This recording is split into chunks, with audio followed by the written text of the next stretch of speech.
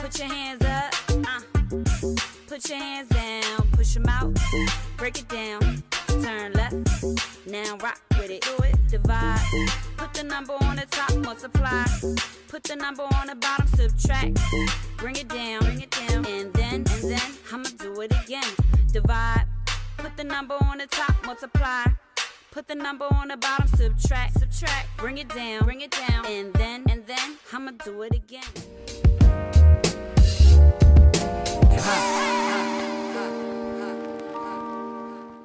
Welcome to worksheet number two. This is our computation page for division. We are here on pages 39 and 40. Notice on page 39 we have our division lyrics. Divide, multiply, subtract, bring down. Divide, multiply, subtract, bring down. Divide, multiply, subtract, bring down. And then, what? I'm going to do it again.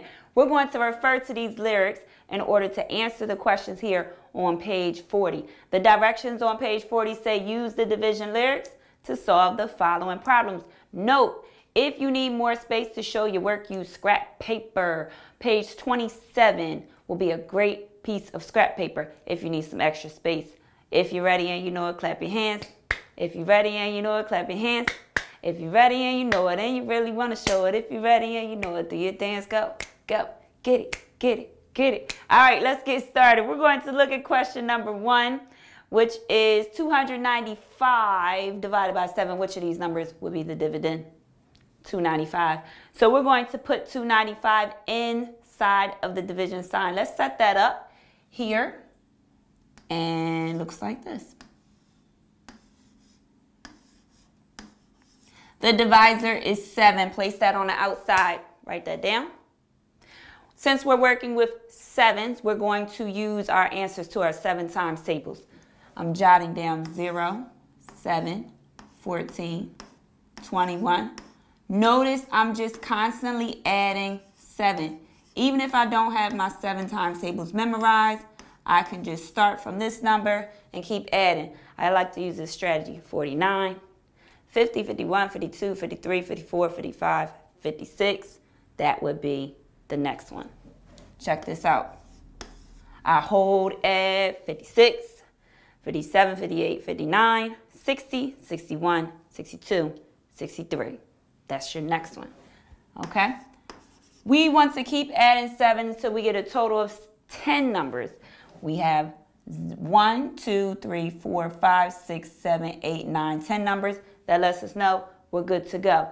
Next, we're going to cover up 295, slide over one digit at a time until we see a number that is larger than 7. So 2 is not larger than 7, but 29 is. That means we're going to start with 29 divided by 7. What does that mean? Go down your list. Do not pass 29. We can stop at 29 if we see it. We just can't pass it. All right? We would then end up stopping where?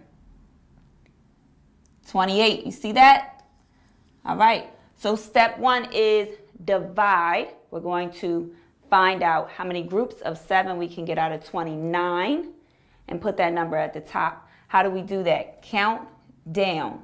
So this is zero groups of seven, one group of seven, two groups of seven, three groups of seven, four groups of seven we can get out of 29. Divide, put the number of groups at the top. Multiply, four times seven, put the number we stopped at at the bottom.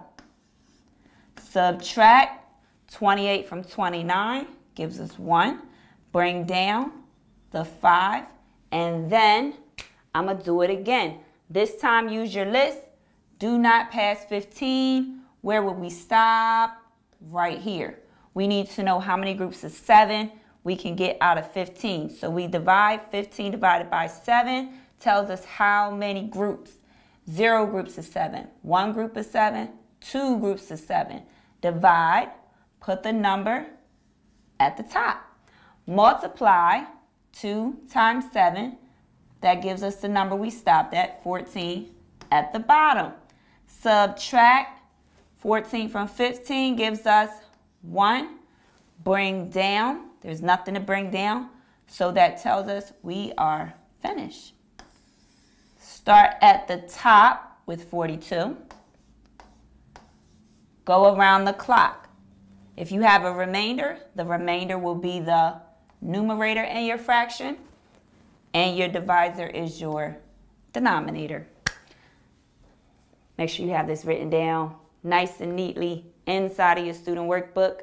Again, if you need additional scrap paper, you can use page 27. So 295 divided by 7 equals 42 and 1 7. Looking great? I think we're on to something. Let's check out number two.